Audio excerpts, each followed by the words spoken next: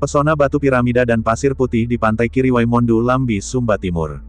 Pantai Kiriwai menunjukkan pesona bebatuan berbentuk piramida seperti bangunan piramida di Mesir bikin Anda baper.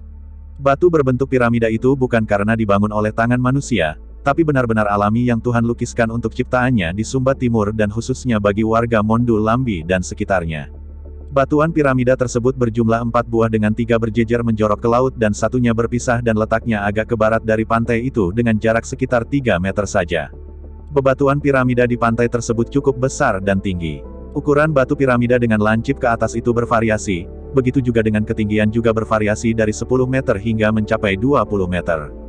Batu piramida itu letaknya di pantai Kiriwai, Desa Mondu Lambi, Kecamatan Lewatidahu, Kabupaten Sumba Timur. Jika Anda yang punya nyali Anda bisa naik ke atas puncak dari batu piramida itu untuk bisa berfoto atau berselfie dengan keindahan pantai itu.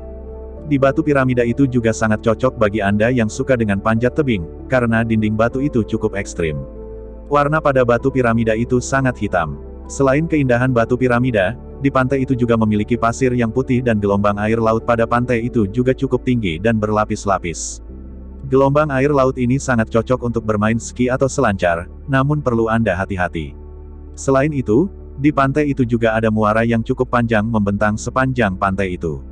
Karena adanya muara ini, maka oleh orang Mondu Lambi menyebutnya dengan nama Pantai Kiriwai. Air pada muara itu juga warnanya cukup biru dan bersih dan cocok untuk tempat pancing. Di pinggir muara ini juga tersedia batu-batu alam yang indah, sehingga cocok untuk tempat duduk memancing.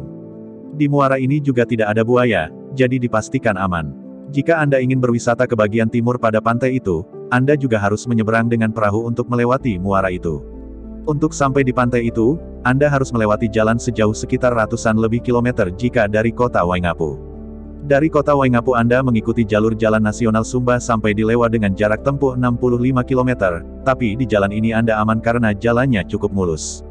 Sesampai di Lewa Anda belok kiri menuju ibu kota kecamatan Lewatidahu di Laikre, di jalan ini Anda juga melewati jalur mulus dengan jarak tempuh sekitar 20 km.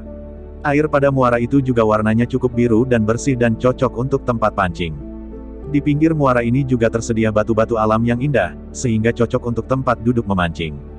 Di muara ini juga tidak ada buaya, jadi dipastikan aman. Anda juga disarankan untuk membawa bekal secukupnya karena di pantai ini masih cukup alami, belum terjamah apa pun, sehingga belum ada warung makan apalagi restoran. Di pantai ini juga tidak ada tempat penginapan seperti homestay, villa apalagi hotel. Jika Anda ingin menginap Anda disarankan nginap di rumah warga di Mondulambi.